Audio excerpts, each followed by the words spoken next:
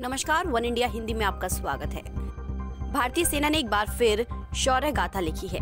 इस बार सैनिकों ने पराक्रम दिखाते हुए भारी बर्फबारी के बीच अभी अभी माँ बनी महिला को अस्पताल से उसके घर पहुँचाया।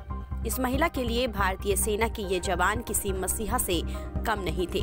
कुपवाड़ा ज़िले के दूरदराज लो लाभ में अस्पताल में भर्ती इस महिला को सेना के जवानों ने बर्फ़ में घंटों पैदल चलकर सुरक्षित उसके घर पहुँचाया, जिसका वीडियो सामने आया है।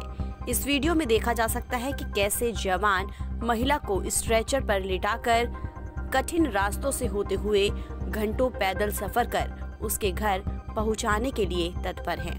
महिला ने हाल ही में बच्चे को जन्म दिया था। भारी बर्फबारी के कारण महिला को घर ले जाना संभव नहीं था। लेकिन फिर देवदूत बनकर भारतीय सेना ने मानवता की मिसाल पेश की। इस वीडियो को देखने के बाद पूरा देश इन जवानों की तारीफ़ कर रहा है। लोगों की मुश्किलों को दूर करने के लिए सेना हर वक्त हाजिर रहती है। सामान्य ड्यूटी करने के साथ सैनिक लोगों की मदद करने के लिए भी आगे रहते हैं।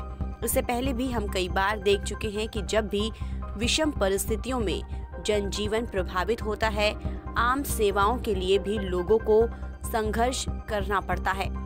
तो लोगों के इस संघर्ष में भारतीय सेना हमेशा उनके साथ खड़ी नज़र आती है। और एक बार फिर हमारी भारतीय सेना ने देशवासियों को गर्व करने का मौका दिया है।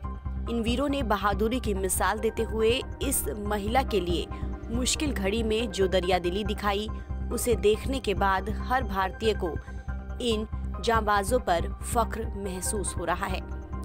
फ़िलहाल इस खबर में इतना ही। देश और दुनिया के तमाम खबरों के लिए आप बने रहिए वन इंडिया, हिंदी के साथ।